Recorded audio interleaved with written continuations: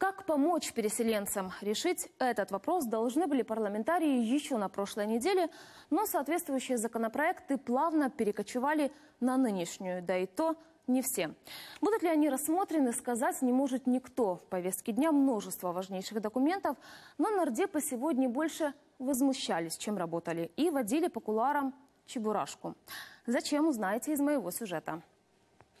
Вторая неделя в парламенте начинается с легкого шоу. Пока главы фракции решают, какие законопроекты рассматривать, по кулуарам ходит Чебурашка. И это не просто мультяшный герой, а посыл и сигнал против непрозрачного назначения аудитора НАБУ. В такий спосіб, привертаючи увагу до цієї акції, навіть е, заводячи костюмованих людей в парламент, ми маємо послати прямий сигнал і суспільству, і владі, і іноземним дипломатам, що ми мовчати не будемо. Свои мультфильмы и у спикера жалуются на законодательный спам. Приходять законопроекти, от, наприклад, один з них, засудити Трампа за нецензурне висловлювання стосовно жінок. Це нам подається отакій законодавча ініціатива. Що робить апарат? Звичайно, він того не реєструє, бо це дискредитує парламентаризм як основу. А вот повестка дня напоминает сериал с фабулой, повторяющейся из серии в серии. Голосовать избранники не успевают, поэтому все законопроекты перекочевали с минувшей недели. Парламент е, за попередній тиждень, Андрій Володимирович, прийняв сім законів, при тому, що в порядку денному їх було анонсовано 76. Ефективність роботи парламенту менше, ніж 10% від запланованого. Якщо немає системної роботи з боку керівника парламенту, вона підмінюється емоційними рішеннями на кшталт того, що було, скажімо, декілька тижнів тому, коли о 12 годині вами було прийнято рішення з трибуни розмовляти тільки українською, порушення закону, то, на жаль, у нас такі випадки О нарушениях закона и регламента говорят и в кулуарах, комментируя приход на прошлой неделе в Раду силовиков. Правда, фракции оценку тем событиям дают диаметрально разную. Вбачаю, що Оксана Сироїд порушила регламент. Е, е, Наш е, колега, народний депутат Юрій Береза, звертався тричі під час промови своєї, щоб вони надали можливість виступити.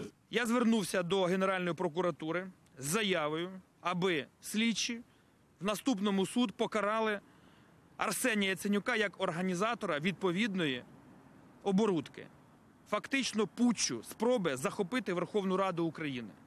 Я звернувся до парламентарів, аби було створено тимчасову слідчу комісію, де депутати Верховної Ради, а це передбачає статус парламентсько-президентської республіки, провели відповідні розслідування і встановили всіх без винятку організаторів і обставини такої спроби захопити Верховну Раду України.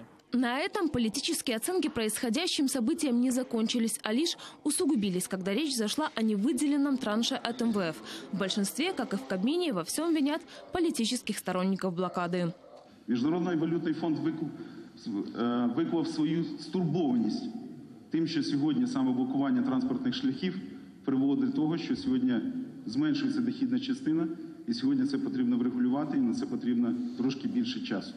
З іншого боку, ще раз наголошую: нічого антиукраїнського, нічого те, що не відповідає реформам, які були і супроводжуються парламентом, в цьому меморандумі немає. Ми неодноразово говорили про важкі економічні наслідки, які будуть мати цей піар на крові. Все це закінчилося не тим, про що заявляли наші представники самопомочі, не звільненням заручників, а тим, що сепаратисти, представники ДНР ЛНР, захопили українські підприємства. В самопомощи все обвинения воспринимают с иронией, а в «Батьковщине», возвращаясь к деньгам МВФ, настаивают, чтобы без одобрения парламента меморандумы подписывать никто не имел права. Самопоміч виявляється 25 років при владі. Весь час ефективно і якісно використовувала е, всі транші. А тепер сталося, от бачите, держава через самопоміч не має ймовірність неефективно його використати. Це припинення сталося як реакція міжнародної спільноти на неймовірну наглість без ратифікації Верховною Радою України, без публічного розгляду Міжнародні валютні фонди не можуть підписувати з високопосадовцями України будь-які меморандуми. Спочатку публічна презентація, потім обговорення в Верховній Раді, потім прийняття проєкту Верховною Радою і тільки після того підписання. Вот только шансов появиться этой инициативе в повестке дня не так уж много. По традиции в зал вносят в основном законопроекты, инициированные большинством. А те хотят завтра назначить членов счетной палаты, рассмотреть изменения состава ЦИК и заняться топливно-энергетическим комплексом. Екатерина Лысенко, Иван Ермаков, Владимир Самченко. Подробности телеканал Интер.